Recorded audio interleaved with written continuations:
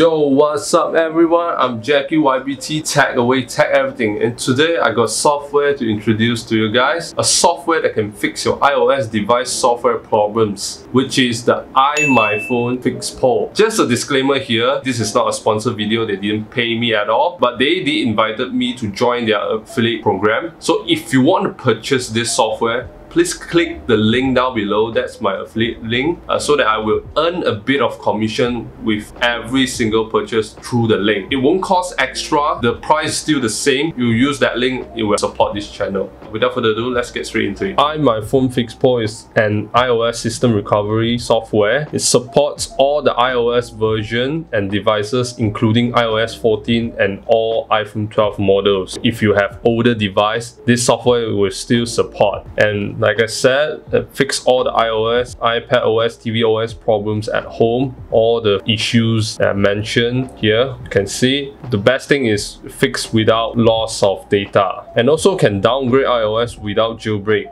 that's a plus point. You can't do that on your iTunes. Um, bypass iTunes error. Sometimes you get iTunes error, you can fix it. So this is the user interface of this iMyFone Fixppo. It is clean, minimalistic, and easy to use. As you can see, there's only three different modes. You can't get wrong. Let me show you. The first one standard mode, the second one advanced mode, and the enter, exit, recovery mode. The standard mode, the best thing about this standard mode is you can fix your following issues here, like for example, won't turn on your phone, stuck on Apple logo, boot loops, and etc. without losing any data.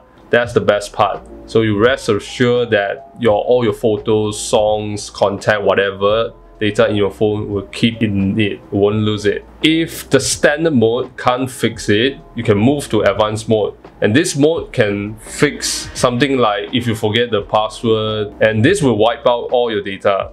Whatever you do, be sure to backup first. And the third one, enter or exit recovery mode. So right now, my phone stuck in the recovery mode. Okay, I already plugged in. So my computer itself detect my phone. Right now, I'm gonna click this and you just click next you see you can see because the phone is already in recovery mode you cannot click the enter recovery mode. You just click exit recovery mode. It's very fast. Right now it's doing its job. Okay apple logo showed up.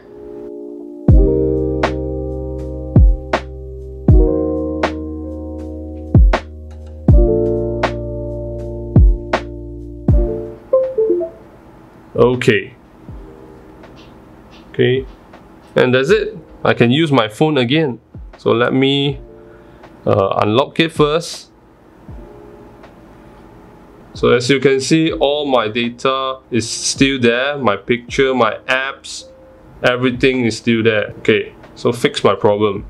Very easy. Easy to use useful. There's a free version. You guys can try it or if you want to buy it click my affiliate link. You can choose pay prescription base like every year you pay once or you can buy lifetime so one shot and then you get the software forever. So that's about it guys. Thanks for watching. I hope that my video helped you. And remember to subscribe click the thumbs up click the bell icon so that you get notified whenever I upload a new video. Share to your friends and family, comment down comment section below. Support if you can through PayPal, you know, donation. And I will see you in the next video guys.